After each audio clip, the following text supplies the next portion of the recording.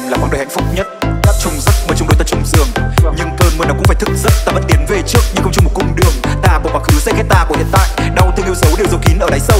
Bao câu hẹn ước giờ chỉ còn trong điện thoại. Nhưng nếu ngày bên nhau lặp lại, anh cũng sẽ chẳng thay đổi nó đâu. Em dạy anh biết cách yêu bản thân mình dạy anh tự tha thứ cho lỗi lầm ngày xưa gây dạy anh thật lòng với tất cả cảm xúc và dạy anh cách thẳng thắn để nói ra lời chia tay. Về những cứ mỉm cười vì tương lai chúng ta sẽ còn tốt hơn.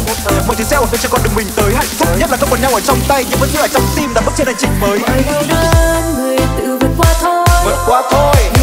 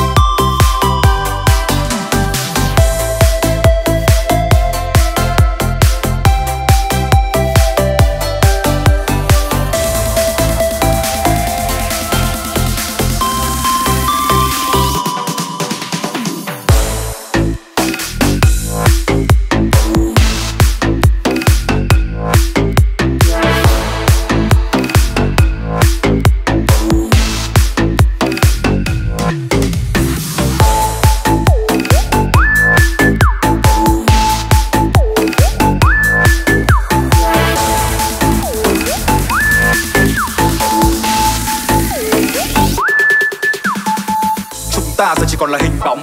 Hai đứa trẻ từng rời khỏi nơi mình sống. Đôi tay mơ xây dựng gia đình nhỏ, giờ là cùng nhau rời bỏ khi cơn tim tự mình đóng. Từng bước cùng bước lên mọi sân khấu cùng nhau, kỷ niệm ngày đó nghĩ lại chỉ thêm thương tổn. Khi giờ ở trên sân khấu lớn nhất đời, anh thiếu vắng bóng hình em, nhưng anh muốn nói là dương ổn. Mong em trở thành người phụ nữ, độc lập vui vẻ không giận dữ